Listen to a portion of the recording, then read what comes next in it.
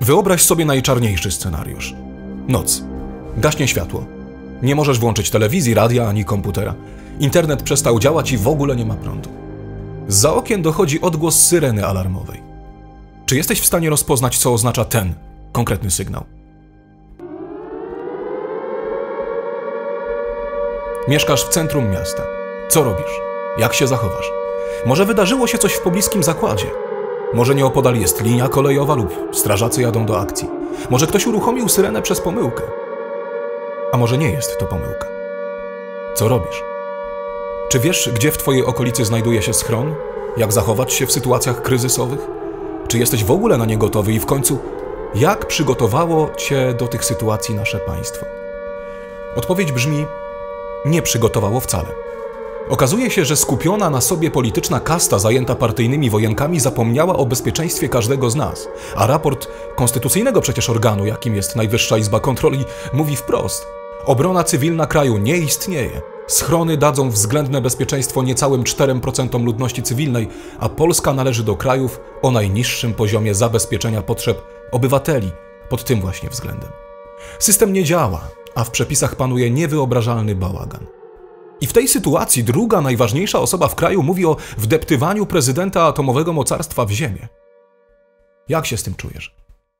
Tu Marek Miśko i kanał Marek Miśko Czuwaj. Czuwaj w sobotę o sprawach społecznych i politycznych. Dziś o miażdżącym raporcie Najwyższej Izby Kontroli w kwestii zabezpieczenia ludności cywilnej w naszym kraju, bałaganie związanym z obroną cywilną, a także kilka cennych rad, które mogą uratować Wam zdrowie, a nawet życie.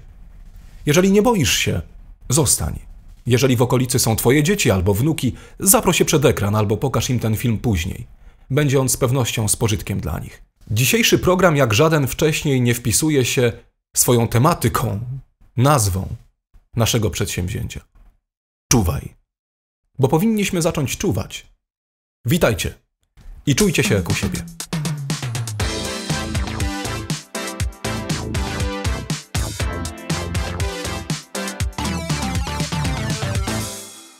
Dziękuję wszystkim mecenasom za dotychczasowe wsparcie. Bez was to wszystko by się nie udało. No i nie byłbym w stanie własnymi siłami nieść tego wszystkiego, za co jak zwykle kłaniam się wam w pas. Jeżeli ktoś z Państwa byłby natomiast zainteresowany dołączeniem do naszego zaszczytnego grona mecenasów i wierzy w to, że to, co wspólnie tutaj robimy, ma sens i warte jest kontynuowania, zapraszam Was do opisu tego filmu i pierwszego komentarza. Możecie postawić nam kawę poprzez serwis Buy Coffee lub przyłączyć się do zrzutki, są tam również inne metody wsparcia. Zachęcam do wspierania, bo bez Was ten program nie mógłby powstawać. No to co? Nie będzie łatwo, ale trzeba zacząć, więc zaczynamy. Urzędnik z miasta na prawach powiatu graniczącego z Ukrainą, pytany o stan obrony cywilnej, mówi, że za długo nie porozmawiamy, bo obrona cywilna działa tylko na papierze, w raportach do wojewody. W ten oto sposób opisywał swoje spotkanie z pewnym urzędnikiem Robert Horbaczewski na łamach serwisu prawo.pl. Czym więc się pan dziś zajmuje? zagadywał redaktor. A sprawdzam, czy zawyją syreny alarmowe, czasem wojewoda zarządzi symulację jakiegoś pożaru lub wypadku drogowego. No i robimy. Robimy wspólne ćwiczenia z policją, strażą pożarną i obroną terytorialną. Ostatnio okazało się nawet, że niektórzy gońcy z urzędu nie mają prawa jazdy. W zapasach sprzętowych same graty. O schronach nie wspomnę. Urzędnik dodał również, że kwestia obrony cywilnej była regulowana przez ustawę o powszechnym obowiązku obrony Rzeczpospolitej Polskiej z 1967 roku, no ale wejście w życie nowej ustawy z 23 kwietnia roku 2022 o obronie ojczyzny spowodowało uchylenie tej ustawy i w konsekwencji także regulacji dotyczących obrony cywilnej. Przestały więc obowiązywać akty wykonawcze w sprawie odbywania służby w obronie cywilnej, no i rozporządzenie z roku 2002 roku w sprawie zakresu działania szefa obrony cywilnej kraju, szefów obrony cywilnej województw, powiatów i gmin. Jak mówił rozmówca tego dziennikarza, działam dzisiaj w luce prawnej. Tak spuentował, śmiejąc się na sam koniec rozmowy. Nie wiem jak państwu, ale mnie do śmiechu nie jest. Tym bardziej po lekturze raportu Najwyższej Izby Kontroli z 13 marca 2024 roku. Dwa lata po wybuchu wojny na Ukrainie w Polsce na miejsce w schronach i ukryciach może liczyć niecałe 4% mieszkańców. Mówi o tym raport Państwowej Straży Pożarnej. Obrona cywilna nie istnieje, a obywatele nie wiedzą, gdzie w razie zagrożeń mogą szukać bezpiecznego miejsca schronienia. 6 z 32 gmin skontrolowanych przez NIK nie zapewniło takiego miejsca żadnemu ze swoich mieszkańców, a w 68% poddanych oględzinom schronów i ponad połowie ukryć nie spełniały one po prostu wymaganych warunków technicznych. Przyczyną tej sytuacji, jak ustaliła Najwyższa Izba Kontroli, jest przede wszystkim brak podstawowych przepisów wskazujących ludzi odpowiedzialnych za zarządzanie budowlami ochronnymi, no i określających ich bezwzględne wyposażenie oraz wymogi techniczne, jakie muszą spełniać, czy choćby definiujących, czym taki schron jest. Chcę Wam tutaj powiedzieć, że tu nie chodzi o miejsce, w którym ukrywamy się przez dwa dni. Chodzi o miejsce, które jest wyposażone w łóżka, w wodę, w żywność oraz koce, specjalną wentylację, specjalne okna, specjalne wejścia i specjalne systemy, które mogą ochronić ludzi przed skażeniem, również tym skażeniem biologicznym. Wieloletni impas w tej kwestii ma przełamać przygotowany przez Ministerstwo Spraw Wewnętrznych i Administracji ustawa o ludności, której projekt, jak wynika z zapowiedzi resortu, powinien być dopiero gotowy do końca marca tego roku. Ale wiecie co? Takie projekty, projekty o ochronie ludności cywilnej i obronie cywilnej, Komenda Główna Państwowej Straży Pożarnej przesyłała do MSWiA w lipcu 2019 roku. Dlaczego więc dopiero tym tematem zajmują się teraz? Do uzgodnień międzyresortowych skierował go jeden z wiceministrów z informacją, że e, rozwiązania prawne pozwalające na zwiększenie poziomu bezpieczeństwa ludności Polski powinny wejść w życie jak najszybciej. No i co zrobił w związku z tym ten wiceminister? Który obudził się, jak widać, na czas. Na zajęcie stanowiska w kwestiach proponowanych rozwiązań dał pozostałym ministerstwom jedynie kilka dni. Pozostałe ministerstwa miały przez kilka dni wypracować metody, jak uchronić 38 milionów obywateli. Rosja zaatakowała Ukrainę 24 lutego 2022 roku. Kontrolerzy yy, zniku podjęli więc swoje działania sprawdzające, sprawdzające stan naszego przygotowania do obrony ludności właśnie w tamtym czasie. I wiecie co?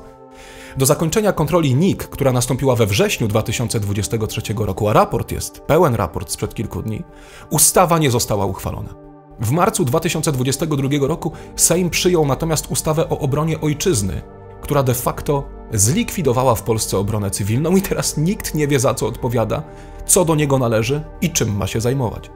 Tak się stało, ponieważ ówczesny minister spraw wewnętrznych i administracji nie zadbał o wprowadzenie do tej ustawy przepisów przejściowych, przedłużających obowiązywanie uregulowań dotyczących obrony cywilnej funkcjonujących od niemal 60 lat.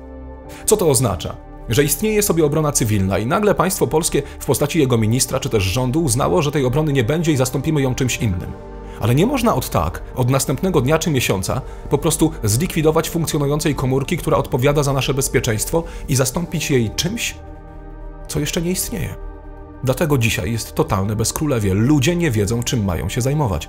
Kto jest dzisiaj dowódcą yy, obrony cywilnej w waszym regionie, w waszym województwie, w waszej gminie? W okresie objętym kontrolą Ówczesny minister spraw wewnętrznych i administracji nie wydał także rozporządzenia, które określałoby warunki techniczne, jakie powinny spełniać budowle ochronne, mimo że projekt trafił do MSWiA z Komendy Głównej Państwowej Straży Pożarnej, jak rzekłem, w 2019 roku, razem z projektem ustawy o ochronie ludności i obronie cywilnej. Trzeba powiedzieć więcej. Do tej pory nie uregulowano także zasad budowy przydomowych schronów i ukryć. Rozumiecie? Każdego dnia ci ludzie skupiają naszą wspólną uwagę na rzeczach nieistotnych albo próbują zaciemnić obraz, wrzucając kolejne granaty w tę kotłującą się zupę społecznych nastrojów. Tymczasem ludzie odpowiedzialni za państwo polskie, pomimo wybuchu wojny niedaleko nas, nie byli w stanie przez dwa lata przeprocedować ustawy o naszym bezpieczeństwie. Jeżeli jesteś z Dęblina, Bogatyni, Krasnego, Żnina, Zdzieszowic czy Kędzierzyna Koźla, to już możesz wyprostować się w fotelu. A wiesz dlaczego? Bo władza żadnej z tych gmin nie zabezpieczyła ciebie i twoich dzieci w żadnym miejscu, ani w żadnym schronie, ani w żadnym ukryciu, ani w żadnym ukryciu do wykorzystania, przygotowania doraźnego. To są te gminy, które nie mają nic. Nul. Zero. Pomyśl o tym w najbliższych wyborach. I mówi o tym raport najwyższego organu kontrolnego w kraju, który ma swoje umocowanie nie w jakiejś tam ustawie, ale wprost wynika jego działanie z przepisów konstytucji. Kto jest szefem obrony cywilnej kraju? Jak myślicie? Zastanówcie się przez chwilę. Tak jest. Szefem obrony cywilnej kraju jest komendant główny Państwowej Straży Pożarnej. I tenże właśnie komendant, jako szef obrony cywilnej, już w roku 2018 wydał dyspozycję, zarządzenie na temat y, zaplanowania zbiorowej ochrony ludności i pisał w niej powinno być ukierunkowane ono na docelowe zapewnienie miejsc w budowlach ochronnych oraz ukryciach do doraźnego przygotowania dla co najmniej 25% ogółu ludności zameldowanej na obszarze administracyjnym danego miasta z uwzględnieniem planów ewakuacji trzeciego stopnia dla pozostałej niechronionej ludności.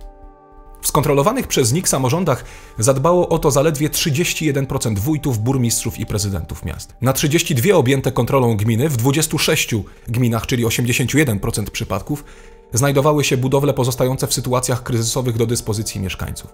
W 14 gminach brak było miejsc w budowlach ochronnych, przygotowano natomiast doraźne miejsca ukrycia. Czyli doraźne miejsca na jeden, góra dwa dni miejsca, które nie są wyposażone w wodę pitną, nie ma tam energii elektrycznej, nie ma tam żywności, koców, macek yy, przeciwgazowych, nie ma tam po prostu nic. Gołe ściany. O te ostatnie zadbano natomiast w 11 gminach, właśnie o te najmniejsze czynniki. Idąc w głąb tego raportu, jest tylko gorzej. Ewidencji budowli ochronnych, zgodnie z wytycznymi szefa obrony cywilnej, nie przeprowadził w okresie objętym kontrolą NIK prezydent Warszawy. Mylisz się więc, że jak mieszkasz w stolicy, to skryjesz się w metrze. Najwyższa Izba Kontroli we współpracy z ekspertami dokonała też inspekcji warszawskiego systemu metra, e, w tym specjalnych urządzeń do pobierania i wyrzucania powietrza, a także na dwóch stacjach linii, e, pierwszej linii metra, czyli na Politechnice i Wilanowskiej. Stwierdzono, że pierwsza linia metra ciągnąca się od stacji Kabaty do Wierzbna, chodzi o ten odcinek, była projektowana z myślą o pełnieniu funkcji schronu. Jednakże w trakcie realizacji i eksploracji projektu, jak myślicie, co się stało? Tak jest. Zaniechano instalacji niektórych elementów, co uniemożliwiło zapewnienie hermetyczności tych przestrzeni. No i z tego powodu metro na tym odcinku nie może pełnić roli schronu. Dodatkowo NIK zauważyła, że w okresie objętym kontrolą prezydent Warszawy nie przeprowadził rejestracji budowli ochronnych zgodnie z wytycznymi szefa obrony cywilnej. Z dokumentu opracowanego przez Biuro Bezpieczeństwa Urzędu Miasta Stołecznego Warszawy wynika, że w sytuacji zewnętrznego zagrożenia Warszawa mogłaby zapewnić doraźne miejsca schronienia dla około 1 89 y, tysięcy osób, co stanowi 64% mieszkańców miast. Ale na jakich warunkach? Pójdźmy więc dalej. Żaden z byłych 48 szefów obrony cywilnej skontrolowanych województw nie przygotował budowli ochronnej przeznaczonej na stanowiska kierowania obroną cywilną. Czyli mamy nawet ludzi, którzy mogliby się tym zająć, ale nie mają przygotowanych miejsc i placówek, a nie chodzi tu o biura. Miejsc i placówek, z których tą obroną mogliby dowodzić. W roku 2022 wiceminister spraw wewnętrznych i administracji w sposób nierzetelny, według NIK-u, bo zrobił to ustnie zamiast pisemnie, wydał Komendzie Głównej Państwowej Straży Pożarnej polecenie przeprowadzenia w całym kraju inwentaryzacji budowli ochronnych. No i z przygotowanego wówczas raportu wynikało, że w schronach i ukryciach jest miejsce dla niecałych 4% mieszkańców, czyli 1 428 369 osób. 4% może się dzisiaj skryć w schronach. A co zresztą? Natomiast pojemność miejsc doraźnego schronienia, na przykład w zwykłych piwnicach, przekracza populację Polski, czyli mamy dużo piwnic, no i co z tego? Upubliczniając raport, wiceminister oświadczył, że w przypadku zagrożenia może się w nich schronić w sumie ponad 49 milionów osób, a kontrola NIK wykazała, że przedstawione w raporcie dane są nierzetelne i mogą stwarzać fałszywe poczucie bezpieczeństwa. Obrona cywilna leży nie tylko z powodu braku przepisów. Chodzi też o niskie w stosunku do potrzeb wydatki na utrzymanie i konserwację takich obiektów oraz na budowę nowych. Wyobrażacie sobie, że w roku 2021 wydatki te wyniosły 214 tysięcy złotych? Na obronę narodową przeznaczono wówczas ponad 58 miliardów. Gdzie te pieniądze? 214 tysięcy złotych na cały kraj, na schrony, ich wyposażenie, sprawdzenie filtrów w maskach przeciwgazowych itd., tak itd. Tak w skróconej wersji raportu, która została upubliczniona, nie ma bowiem kluczowej zdaniem NIK informacji, że Państwowa Straż Pożarna nie może wziąć odpowiedzialności za ocenę stanu poszczególnych obiektów i tego, czy zabezpieczą one życie ludzkie podczas konfliktu zbrojnego. Kontrola NIK wykazała również, że przedstawione w raporcie dane są nierzetelne, w spisie obiektów ochronnych znalazły się bowiem takie budynki, które dla mieszkańców kompletnie były niedostępne. Straż Pożarna zinwentaryzowała 235 y, tysięcy obiektów budowlanych. Najwięcej w województwie mazowieckim, tam zrobiła to na 30 tysiącach budynków, najmniej w podlaskim 6200, a wśród nich znalazło się 1903 schrony i 8719 ukryć. Żadnego schronu nie było w województwie lubuskim.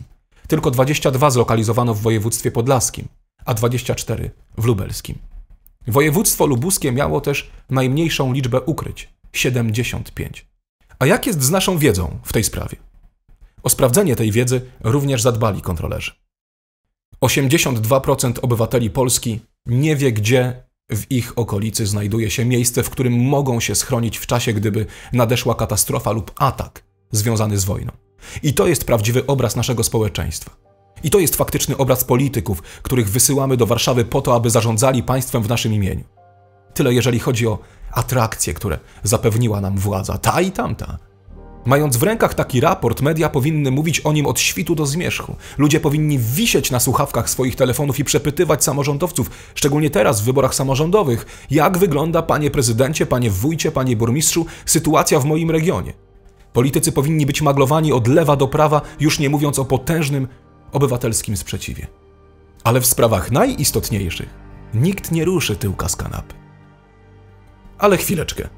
Zobaczmy, jak wygląda kwestia obrony cywilnej w krajach, które poważnie traktują swoją państwowość i bezpieczeństwo swoich obywateli. Jak wygląda to w Niemczech? Rząd niemiecki nieustannie od roku 2014 zachęca swoich obywateli do robienia zapasów wody w liczbie 2 litrów na jedną osobę na dzień, artykułów spożywczych na 5 dni, a także zaopatrzenia się w odbiornik radiowy na baterie, dając przy tym wiele, wiele różnych, różnych porad i wskazówek na stronach Bundestagu. Austria zaleca swoim obywatelom przygotowanie zapasów żywności i wody na okres dwóch tygodni, obejmujących 4,5 kg produktów zbożowych, 4,5 kg produktów mlecznych, 6 kg owoców i warzyw oraz 21 litrów wody na osobę. Wszystko to na osobę.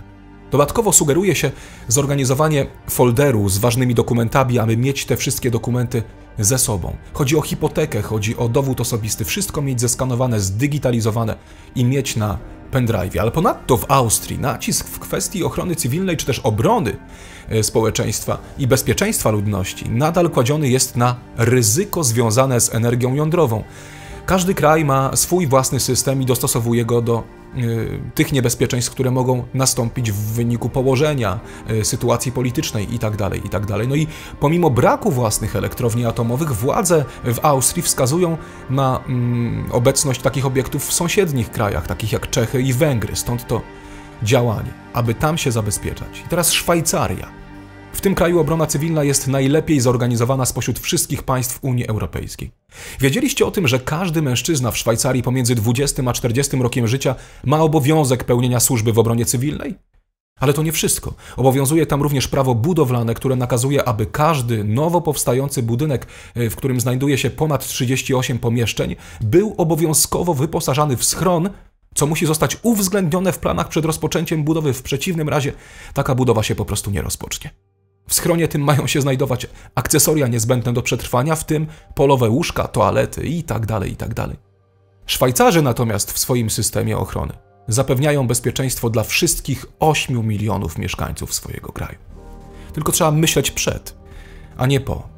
W Holandii z kolei mieszkańcy są instruowani, jak przygotować się na katastrofy spowodowane sztormami lub atakami terrorystycznymi. Tu nic dziwnego, jak się nawpuszczało, to też y, takie ma się zagrożenia. Ale nie o tym. Y, jest tam również zalecenie posiadania zapasów wody, żywności, gotówki i lekarstw, choć y, rząd nie określa, jaka powinna być to ilość, ale mówi o tym mieszkańcom. Czy nam ktoś takie coś powiedział? Czy my o tym wiemy? Nie. W Holandii zaleca się również posiadanie radia na baterie. To bardzo dobre rozwiązanie. Teraz Finlandia, lecimy trochę na północ. Tam zachęcają swoich obywateli do utrzymywania stałych zapasów wody i żywności wystarczających na tydzień z zaleceniem dostosowania ich ilości do indywidualnych potrzeb żywieniowych i konsumpcji. Zaleca się również posiadanie lekarstw, tabletek z jodem, no i podstawowych artykułów domowych. I tak wygląda, moi mili, moi drodzy, budowanie poważnego państwa. Ktoś powie, Miśko, po co te schrony? Po co straszysz? Odpowiadam. Jesteśmy ostatni na wschodzie. Tak? Tak. Nasi politycy prowadzą politykę agresywną względem agresora ze wschodu. Tak? Tak. Wiele państw będących dalej od linii frontu zadbało o każdy szczegół w dziedzinie bezpieczeństwa w sytuacjach nadzwyczajnych. Przed chwilą o tym mówiłem. Tak? No tak. Więc co leży u podstaw sytuacji, w której obecnie nas postawiono? Premier i prezydent mówią, że zakończył się czas pokoju i wchodzimy w czas przedwojenny. Rozumiem, że nie żartują. Tak? Tak. Premierzy państw NATO jeszcze kilka dni temu z przerażeniem zaglądali do francuskiej teczki wyłożonej na stół podczas szczytu w Paryżu, w której to teczce znajdowała się propozycja wysyłania wojsk Paktu Północnoatlantyckiego na Ukrainę. To rozumiem, że zagrożenie, które ma na nas yy, być ściągnięte poprzez zapalczywość niektórych zachodnich polityków, jest yy, niepoważne, tak? Czy raczej odwrotnie? A skoro poważne, to może warto o sprawach ważnych rozmawiać jednak jak najpoważniej, co? Jeżeli dotarłeś aż tutaj i chcesz dalej posłuchać, ale tym razem o tym, co możesz zrobić sam dla siebie i swoich najbliższych, to serdecznie Cię do tego zapraszam. Zostań jeszcze chwilę. Pamiętajcie, że nasze programy powstają tylko dzięki zaangażowaniu naszych mecenasów. Wszystko to, co dzieje się tutaj, w tych wszystkich programach, jest dzięki Wam, dzięki wspólnocie ludzi myślących, którą razem tutaj tworzymy. Dziękuję wszystkim mecenasom za dotychczasowe wsparcie. Bez Was to wszystko by się po prostu nie udało i nie mógłbym robić tego własnymi siłami, nieść tego wszystkiego, za co jak zwykle kłaniam się Państwu w pas. Jeżeli jesteście zainteresowani wsparciem, dołączcie do tego zaszczytnego grona mecenasów i zajrzyjcie w link w opisie tego filmu oraz w pierwszy komentarz. Tam jest wszystko wyjaśnione. Najlepsza jest kawa, tak żebyśmy nie przysypiali, ale są też inne metody, do zapoznania z którymi serdecznie Państwa zachęcam a na odchodne. 6 kwietnia 2023 roku Straż Pożarna uruchomiła aplikację z informacjami o miejscach, w których znajdują się schrony. Podano wówczas, że jak wynika z inwentaryzacji, na terenie kraju znajdują się schrony profesjonalne, które pomieszczą ponad 300 tysięcy osób. W przypadku miejsc ukrycia, czyli schronów niehermetycznych, schronienie może znaleźć ponad 1 100 tysięcy naszych rodaków, czy tych, którzy tutaj przebywają. Takich obiektów w Polsce ma być bowiem 9 tysięcy. Najwięcej obiektów zostało natomiast zakwalifikowanych jako miejsca doraźnego schronienia. Tych jest bowiem ponad 224 tysiące. No i w przypadku zagrożenia może znaleźć w nich schronienie niemal 47 milionów osób. Najwięcej miejsc schronienia jest na Śląsku, najmniej na Warmii i Mazurach. No i wszystko pięknie. Z tym, że trzy dni temu kontrolerzy NIK-u powiedzieli o raporcie Państwowej Straży Pożarnej wprost. Zdaniem Najwyższej Izby Kontroli Państwowa Straż Pożarna nie może wziąć odpowiedzialności za ocenę stanu poszczególnych obiektów i tego, czy zabezpieczą one życie ludzkie podczas konfliktu zbrojnego, ponieważ, jak wykazała ta sama Izba Kontroli Najwyższa, że przedstawione w raporcie dane są nierzetelne. W spisie obiektów ochronnych znalazły się, przypomnę, również takie obiekty, które były dla mieszkańców niedostępne. Państwo z kartonu. Jeden rabin powie tak, a drugi inaczej. Mam nadzieję, że to nie, nie antysemityzm. Ale przejdźmy do rzeczy. Co my możemy zrobić? My, prości ludzie, jeżeli nie możemy liczyć na polityków. Powiem Wam o moim doświadczeniu i polecam każdemu, aby skorzystał z tych rozwiązań. Zrobicie z tym, co chcecie. Jedni mogą powiedzieć, że jest to oznaka nadwrażliwości, inni, że jakiegoś szaleństwa. A ja wolę to nazywać zwykłą odpowiedzialnością. Tak więc, punkt pierwszy. Miejsca spotkania. Wyznacz miejsca spotkania dla całej Twojej rodziny, dzieci, żony, z kim tam mieszkasz. Gdyby coś się wydarzyło, bez względu na to, czy domownicy będą tego dnia w szkole, czy, czy, czy w pracy, na siłowni, na treningu, powinni wiedzieć, gdzie mają się wspólnie spotkać. Takich miejsc powinno się wyznaczyć dwa lub trzy według kolejności. No wyobraźcie sobie, że przestaje działać internet, nie ma prądu, nie możemy się kontaktować w żaden inny sposób. No to pozostają nam nogi. Więc ustal sam, jakie masz najważniejsze priorytety, tak aby nie szukać się po całej okolicy lub mieście. Jeżeli masz dzieci w jednej szkole, w sytuacji najgorszej, niech wiedzą, niech będą wyszkolone, że mają się zebrać w kupę.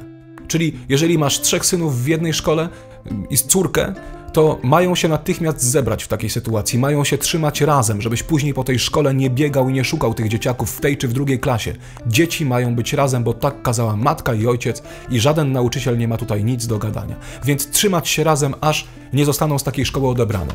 W szczególnych przypadkach, aby y, wspólnie mogły trafić po prostu do punktu ustalonej zbiórki, bo może być różnie. Więc wszyscy mają wiedzieć, że najpierw szukamy się we własnym domu. Jeżeli z jakiejś przyczyny jest to niemożliwe, w ciągu kolejnych kilku godzin spotykamy się w drugim, wyznaczonym miejscu.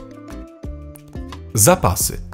Tego nie bagatelizujcie. Zawsze warto mieć w domu odpowiednią ilość pożywienia, wody pitnej, witamin i to yy, o dużym stężeniu i leków. Zapasy się nie zmarnują. Można je przecież konsumować na bieżąco i tak samo później uzupełniać. Nawet jeżeli ktoś was będzie wyśmiewał, tak jak wyśmiewano za COVID-u, róbcie zapasy. Nigdy tego nie bagatelizujcie. Skoro mówią o tym Niemcy, skoro mówią o tym Szwajcarzy, skoro mówią o tym Holendrzy i Finowie, to myślę, że mają. Bardziej zorganizowane państwa od nas, o tak bym powiedział. Bierzmy przykład z lepszych. Plecak ewakuacyjny. Zatroszczcie się o niego już dziś.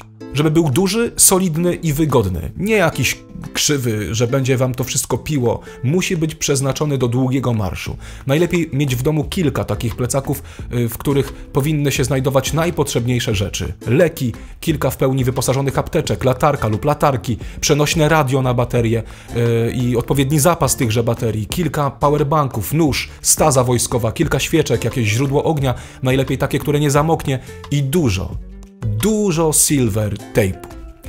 To bardzo ważne. No i prowiant. U nas y, jest to taka lekka, paczkowana żywność liofilizowana z sortu wojskowego, którą można kupić w każdym dobrym sklepie militarnym. Jest bardzo lekka, a robisz z niej e, pełnowartościowy, duży obiad. Wystarczy zalać wodą, no i masz posiłek. Pełnowartościowy posiłek. E, taka żywność charakteryzuje się zresztą tym, że ma bardzo długi termin przydatności. Nasza chyba jeszcze wytrzyma do 2027 roku, a była kupiona 3 lata temu. E, warto też mieć ze sobą wygodne buty do długiego marszu, ciepłą bieliznę i ubrania oraz po jednym kocu na osobę. Baterie, akumulator, radio na baterię. To rzecz nie do przecenienia. Ja to składuję, my to składujemy w specjalnym kartoniku ratunkowym. Warto to mieć w domu. Radio pozwoli nasłuchiwać komunikatów w przypadku braku prądu. Zapasowe baterie zawsze się przydadzą. Kilka latarek, dużo świec, y, kilka niemoknących źródeł ognia, kilka apteczek, podstawowe leki i duże dawki witamin. No i na koniec akumulator, duży akumulator litowo-jonowy, mile widziane 200 Ah plus jakiś y, falownik mocy, przetwornica lub inwerter mocy, który pozwoli nam tę energię y, zamienić, abyśmy mogli na przykład podładować telefon lub, lub latarkę, powerbanka lub cokolwiek, żeby mieć y, dostęp do energii elektrycznej przez pewien przynajmniej czas. Turystyczna kuchenka gazowa. Chodzi o taką na małe butle, takie jak do zasilania zapalniczek w gaz. Y, będzie więc gdzie ugotować albo gdzie się ogrzać. I to jest bardzo ważne, żeby również sobie po szafkach to trzymać. Niedużo tyle, ile potrzebujecie, y, też ze względów bezpieczeństwa, ale po prostu to mieć. To jest świetny mechanizm, taka butelka wystarczy Wam na godzinę podgrzewania jakiegoś posiłku. Naprawdę warto się w to zaopatrzyć. No i na koniec kilka zasad. Zasad arcyistotnych, o których powinniśmy myśleć już dziś. Po pierwsze, bądź gotowy. Upewnij się, że masz zawsze w domu czy w samochodzie zestaw ratunkowy, który zawiera butelki z wodą, zapas żywności o długim terminie przydatności, latarkę, zapasowe baterie, przenośne radio, jak mówiłem, do ważnych komunikatów, zestaw pierwszej pomocy i środki ochronne. Punkt drugi. Szukaj bezpiecznego miejsca. W sytuacji ataku z powietrza, a to jest ta syrena alarmowa, która o tym informuje. Posłuchajcie. Najlepiej znaleźć schronienie wewnątrz budynku, w pomieszczeniu bez okien lub w piwnicy. W przypadku zagrożenia chemicznego, będąc na zewnątrz, znajdź szczelnie zamknięty budynek i pozostań w nim do czasu, aż zagrożenie minie. Jeżeli jest to Twój dom, to zabezpiecz otwory. W momencie zagrożenia chemicznego zabezpiecz drzwi, okna i inne możliwe wejścia, aby zapobiec przedostaniu się szkodliwych substancji. A tak oto brzmi syrena alarmowa, która informuje o skażeniu chemicznym lub biologicznym.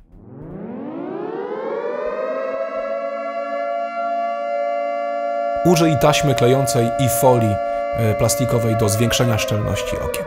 E, zredukuj przepływ powietrza, wyłącz klimatyzację, wentylację i inne systemy, które mogą wprowadzać zanieczyszczone powietrze do środka. Punkt piąty. Słuchaj ogłoszeń. Korzystaj z radia na baterię, aby otrzymywać ważne informacje od władz lokalnych i służb ratunkowych. Postępuj zgodnie z otrzymanymi wskazówkami. Nie wymyślaj, nie cuduj, nie wychodź, nie kozacz. Chyba, że ratować najbliższych. Pójść po dzieci do szkoły, ale to też z głową, bo dzieci potrzebują, żeby odebrał je żywy lub żywa matka, żywy ojciec, a nie taki, który podczas skażenia chemicznego wyjdzie i już nie wróci do domu ani nie dojdzie do szkoły. No i punkt szósty. Stosuj środki ochrony indywidualnej, jeżeli dysponujesz maską przeciwgazową lub innymi środkami ochrony osobistej. Użyj ich zgodnie z zaleceniami, aby uniknąć wdychania niebezpiecznych substancji. I punkt siódmy, bardzo ważny z jednego względu, o którym zaraz powiem. Utrzymuj łączność. Bądź w kontakcie z bliskimi, informując ich o swoim stanie i lokalizacji. Jeżeli e, tego nie spełnimy, tego nie powiemy, pamiętajcie, że ktoś się o nas martwi i ktoś może podjąć złą decyzję. Na przykład rodzice nie dadzą znać, którzy mieszkają na końcu miasta. Dziecko chce im pomóc. Jedzie. Rodzice są w domu, tylko zapomnieli poinformować. Albo ty do nich nie zadzwoniłeś i nie zapytałeś. Narażasz się na niebezpieczeństwo. Dlatego kontakt. Jak jest możliwość skontaktowania się telefonicznie, wszyscy poinformujcie siebie, że jesteście bezpieczni. Ale ważne jest to, aby oszczędzać baterię w telefonie, aby zachować energię baterii. No i nie opuszczaj schronienia przed oficjalnym komunikatem, to punkt ósmy. Zostań w bezpiecznym miejscu do momentu, aż władze nie poinformują, że można to bezpiecznie zrobić. Wiem, moi drodzy, wiem, że brzmi to dramatycznie, a może nawet katastroficznie, ale czasy są jakie są. Pomyślałem więc, że usystematyzuję dla Was tę wiedzę, bo wolę stać się w oczach wielu ludzi śmieszny, żeby mnie wyśmiano czy nawet obrażano, niż popełnić grzech zaniechania, korzystając z zasięgu naszego kanału, kanału Marek Miśko Czuwaj. Bym zapomniał. Dwa dni temu kanclerz Niemiec Olaf Scholz ponownie odrzucił prośbę o dostawy pocisków manewrujących Taurus dla Ukrainy. Swoją decyzję potwierdził po raz kolejny w środę w Bundestagu i powiedział, że nie uważa za odpowiedzialne udostępnianie tej broni do użycia bez udziału niemieckich żołnierzy. Więc te rakiety Taurus, o których już mówiłem, to rakiety powietrze-ziemia. Ich zasięg to 500 km, czyli z terenu Ukrainy może narazić Moskwę, Mińsk, Białoruski. Niemcy więc boją się, że Ukraińcy mogliby wykorzystać ich sprzęt do rażenia celów na terenie Rosji, a to mogłoby eskalować konflikt poza Ukrainę. Mówiłem o tym szerzej w jednym z wcześniejszych programów. E, ciekawych zachęcam do jego obejrzenia. Tymczasem żegnam się z Państwem. Dziękuję, że zechcieliście poświęcić swój czas. Pamiętajcie, że jest on dla mnie najcenniejszy.